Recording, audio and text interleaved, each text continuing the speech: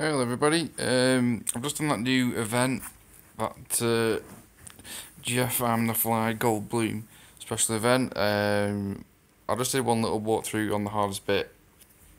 Um, wasn't really impressed with it to be honest.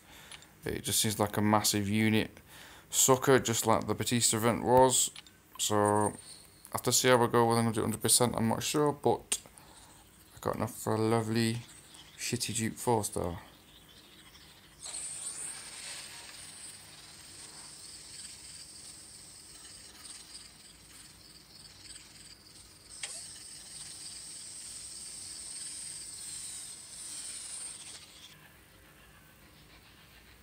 Oh, fuck off.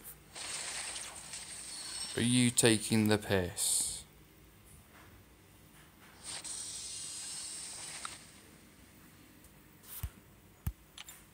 Well, that was definitely worth it. Bring on the next Jeep Spaddy, go on.